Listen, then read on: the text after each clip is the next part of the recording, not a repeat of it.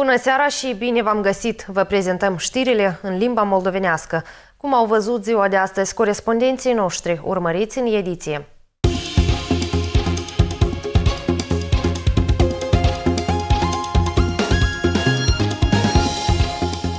Ministerul Afacerilor Externe din Nistrenia a propus să fie realizată o rundă ordinară a negocierilor în formatul 5 plus 2. La Kamenka se apropie de sfârșit realizarea programului de reparație a drumurilor municipale și de stat pentru 2016. De la 1 la 3 octombrie va avea loc Cupa Prezidentului la fotbal printre echipele de curte.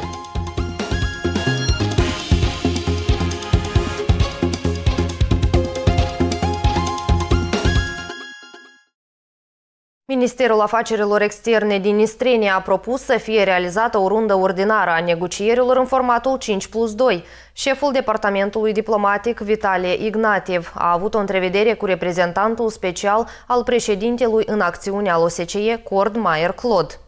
Data trecută, Vitalie Ignatiev și Cord Mayer Claude au discutat procesul de negocieri din iulie în cadrul vizitei la Tiraspol a ministrului de externe din Germania, președinte în exercițiu al OSCE Frank-Walter Steinmeier. De atunci, situația în procesul de reglementare a degradat, susține Vitalie Ignatiev.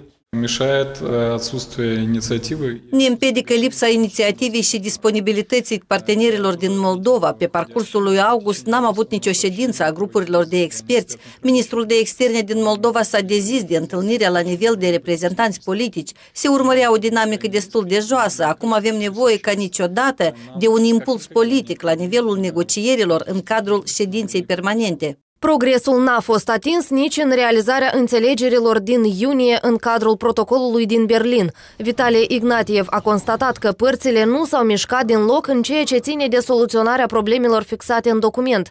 Timpul oferit pentru aceasta însă a trecut. La întrevedere, partea nistreană a propus realizarea rundei ordinare a negocierilor în formatul 5 plus 2. Нам необходимо провести мониторинг. Trebuie să facem un monitoring și o analiză a situației curente și să stabilim parametrii de rezolvare a problemelor sub care deja ne-am pus semnăturile și să stabilim termenele. Noi considerăm foarte semnificativ protocolul din Berlin, pe care reprezentantul special al președintelui l-a numit hartă rutieră. Vitalie Ignatiev a accentuat atenția asupra situațiilor în domeniul comunicațiilor feroviare de încărcături prin teritoriul Nistreniei. Potrivit ministrului de externe, problema aceasta are caracter complex. Vara, Moldova și Ucraina în mod unilateral au limitat importul de mărfuri în Republica Moldovenească Nistreană pe calea ferată. În așa mod au încălcat protocolul feroviar semnat în 2012. В этой ситуации Приднестровская сторона разработала... În situația respectivă, partea nistriană a elaborat un proiect de acord nou, cu anexe, scheme tehnologice, care detaliat descriu tranzitul și exportul, importul de mărfuri în adresa agenților economici ai Nistreniei, care nu se opune controlului vamal din partea Moldovei. Cord Mayer Clot a marcat disponibilitatea studierii propunerilor părții nistrene, cât și răspândirii lor tuturor participanților procesului de negocieri. Numărul motorului nu va fi înscris în pașaportul tehnic al automobilului. Acum, posesorul transportului auto poate de sine stătător instala în automobil noul motor. El nu va fi nevoit să introducă schimbări în certificatul de înregistrare. Ранее номер двигателя наравне с VIN-кодом. Anterior, numărul motorului, la fel ca și numărul caroseriei, era înscris în pașaportul tehnic. Se înfăptuia procedura necesară atunci când transportul era luat la evidență sau adus în țară. La fel era efectuată expertiza nodurilor numerale și agregatelor, printre care și a numărului motorului. Această procedură era destul de îndelungată și costisitoare pentru șoferi. Ordinul va intra în vigoare după publicarea oficială. Această temă a fost abordată la întâlnirea șefului statului cu reprezentanții întreprinderilor de transport din Republică. Toate întrebările prezidentul Republicii Moldovenești Strene le-a luat la control propriu. Multe din ele deja sunt soluționate. Președintele Sovietului Suprem al Republicii Moldovenești Nistrene, Vadim Krasnoselski, în cadrul unei întâlniri cu locuitorii raionului Slobozia, întocmai a învinuit serviciile de informare în masă de stat în încercarea de a diviza societatea civilă. Primul post nistrean de televiziune a obținut o înregistrare audio a celor spuse de președintele Sovietul Suprem la întâlnire. К сожалению, опять же, с экранов телевидения, De pe ecranele televizoarelor mass media de stat, noi auzim informații care încearcă să împartă oamenii însănătoși și bolnavi ai săi și străini, adversari și adepți. Nu e atât de periculos pentru noi dușmanul extern, e mai strașnic cel intern, unde Rusia nu ne va ajuta. Sunt niște intrigi interne, trebuie să prevenim aceasta, să ardem acest rău. Это зло. În persoana cui speakerul vede dușmanul intern, pe cine sau ce e menit să ardă președintele Sovietului Suprem Vadim Krasnoselski. Ne-am străduit să înștiințăm aceasta. Pentru început ne-am adresat în serviciul de presă al Sovietului Suprem, apoi secretarului de presă al speakerului. Простите, пожалуйста, я не наделена полномочиями комментировать Scuzați, vă rog, dar nu sunt competentă a comenta declarațiile conducătorului nostru. Apelați la dumnealui. Pentru a clarifica poziția speakerului, i-am adresat o cerere oficială. Consideră oare Vadim Krasnoselski răul care trebuie ars, anume mass media de stat? Rămâne neclar. Canalul nostru așteaptă răspuns. Însă, reamintim, anterior președintele Sovietului Suprem în cadrul conferinței sale de presă a remarcat mass media de stat e necesar de, citez, democratizat. Государственные СМИ необходимо максимально democratizировать. Serviciile de informare în masă de stat trebuie democratizate la maxim, adică prezidentul, toate ramurile puterii de stat să poată participa la instituirea lor. Acesta e răspunsul președintelui Sovietului Suprem la pachetul de lege despre serviciile de informare în masă care a stârnit vâlvă în comunitatea de jurnaliști. Pachetul care cu jurnaliștii nu se discută. După părerea multora, legile aprobate de majoritatea parlamentară conțin elemente de cenzură, așa directorul mediacentrului Luiza Doroșenko, comentând această lege, a menționat. Citat. Numirea și scoaterea din funcție a redactorilor șefi de către Sovietul Suprem va spori controlul din partea autorităților asupra informației oferite societății. În același timp, această lege va contribui la statornicirea monopoliei unei puteri politice în câmpul media. Majoritatea deputaților sunt membri sau adepți ai Partidului Obnovlenie, în spatele căruia se află holdingul șerif. Vor fi încălcate și legile consumatorilor, care vor primi informație incompletă sau se vor supune manipulării. Aprobarea acestor schimbări doar va înrăutăți situația în regiune, a subliniat Luiza Doroșenko. Recent, împotriva politicii de presiune asupra serviciilor de informare în masă de stat s-au pronunțat colaboratorii teleradiocompaniei de stat nistrene. Colectivul a semnat o scrisoare deschisă adresată Sovietului Suprem în primul rând, cu rugămintea de a schimba atitudinea față de mass media de stat. La Camenca se apropie de sfârșit realizarea programului de reparație a drumurilor municipale și de stat pentru 2016. Urmează să fie reparate două străzi oreșenești situate în apropierea uzinei de conserve. Aici din nou vor fi asfaltați 900 de metri de drum. Strădela uzinei a fost asfaltată ultima oară 30 de ani în urmă. Sectorul din apropierea grădiniței de copii numărul 5 a fost acoperit numai cu prundiș. În acești ani, pe sector, de două ori a fost instalată rețeaua termică și apeductul. În timpul ploilor abundente, strada se transformă într-un loc greu accesibil. Întrebarea despre reparația acestui sector nu o singură dată a fost abordată. În perioada de încălzire au loc variate ruperi ale rețelei termice, iar țevile se află sub pământ. Au săpat electricienii și lucrătorii întreprinderii de aprovizionare cu apă potabilă. Era o situație complicată. Prin întuneric și glot duceam copiii la grădiniță. Acum sperăm să fie mai bine.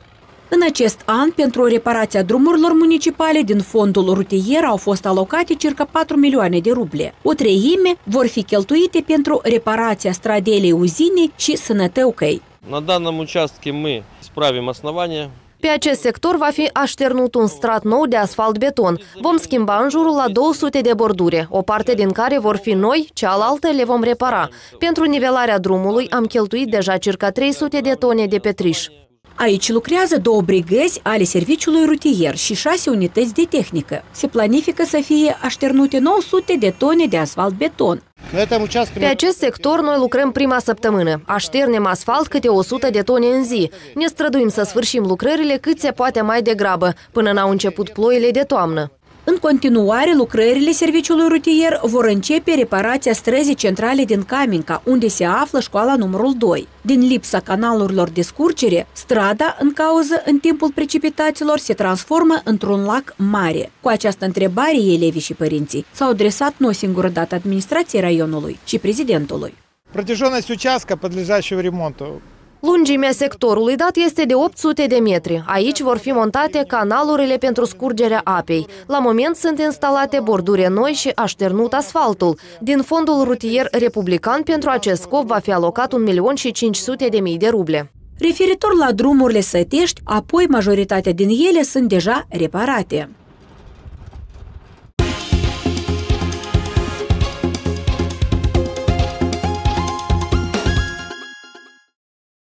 La Tiraspol sunt organizate cursuri de instruire pentru medici cu denumirea Imunizarea în practică. La ele au participat circa 30 de specialiști din satele și orașele Nistrinei, încadrați în procesul de vaccinare a copiilor. Aceștia sunt pediatri, terapeuți, specialiștii Centrului de Igienă și Epidemiologie.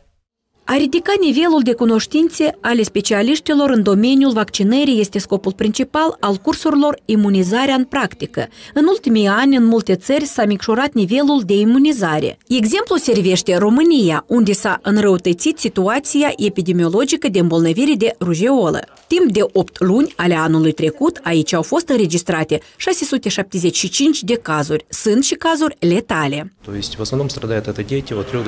În special, suferă de această boală copiii de la 3 până la 9 ani. În practică, încă o dată este demonstrat faptul că trebuie îmbunătățit nivelul imunizării. E necesar de a propaga imunizarea printre populație. Experții invitați au reamintit, este important ca medicii să informeze corect părinții, la ce poate aduce refuzul de a vaccina copiii. Наша цель сейчас напомнить Scopul nostru e de a reaminti că riscul îmbolnăvirii este foarte înalt. Acest curs de lecții a fost elaborat de către angajații Organizației Mondiale a Sănătății pentru a învăța personalul medical, medicii, cum să prezinte corect informația populației. Părinții singuri primesc hotărârea de a vaccina copiii sau nu.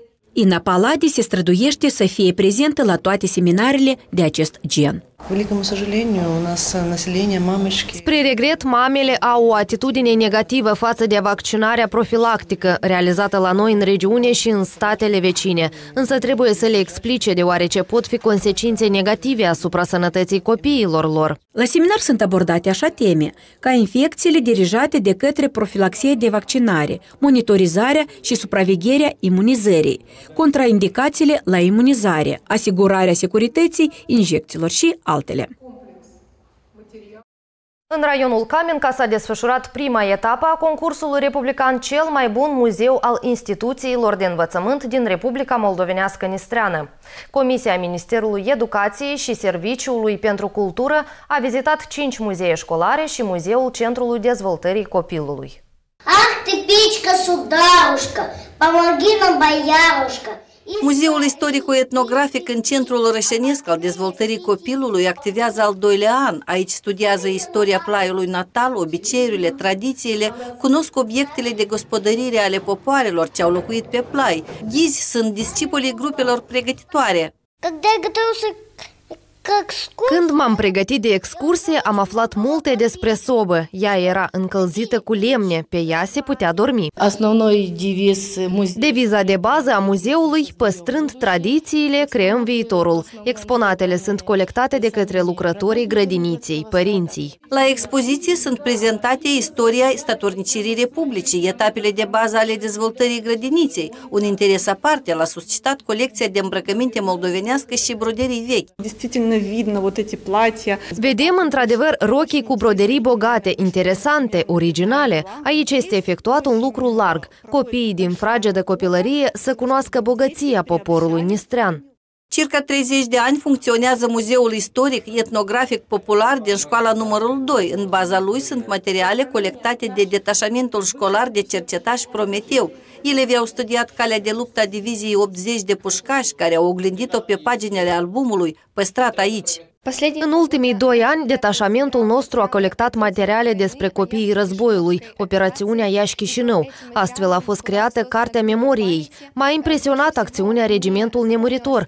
Sute de fotografii din anii de război din arhivele de familie au îmbogățit muzeul nostru. Pe standurile muzeului este prezentată nu numai activitatea de cercetare, ci și istoria școlii, orașului, republicii. Excursiile sunt prezentate de înșiși elevii.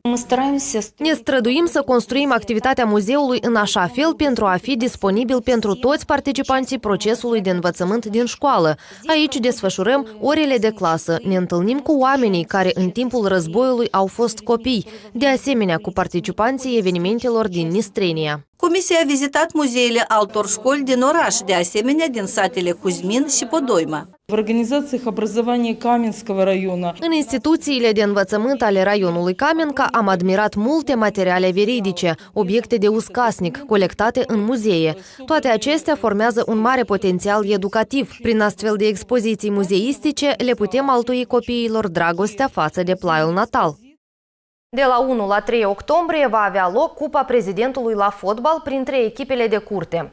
Competițiile vor fi desfășurate în baza Centrului Republican de Pregătire Olimpică. Vor participa fotbaliștii din toate orașele și raioanele țării. La moment, fotbalul, printre echipele de curte își ia avânt. Sunt formate echipele. De la 1 și până la 3 octombrie, unele din ele își vor încerca puterile la nivel republican. 8 echipe puternice care prezintă raioanele Republicii noastre vor participa la acest turniu. Fiecare raion înaintează echipa sa. La 1 octombrie, la ora 9 și 30 de minute, va avea loc ceremonia deschiderii în Centrul Republican de Pregătire Olimpică. Mai întâi vor fi prezentate echipele, după care vor începe competițiile propriu-zise, care vor dura până luni. Organizatorii remarcă echipele se pregătesc destul de serios către turneul dat. Noi avem o atitudine foarte serioasă față de arbitrarea acestor competiții. Arbitrul superior va fi numit prezidentul Federației de Fotbal al Republicii Moldovenești Nistrene, Nicolae Moseac. Cred că aceste competiții le vor fi o bună susținere tinerilor fotbaliști. A primi cupa din mâinile prezidentului care va fi la ceremonie de decernare a câștigătorilor. Competițiile vor fi desfășurate pe stadionul republican. Intrarea este liberă. Atât pentru această ediție. Despre aceste și alte evenimente ale zilei puteți afla în programul de seară al colegilor noștri, iar noi vă spunem la revedere!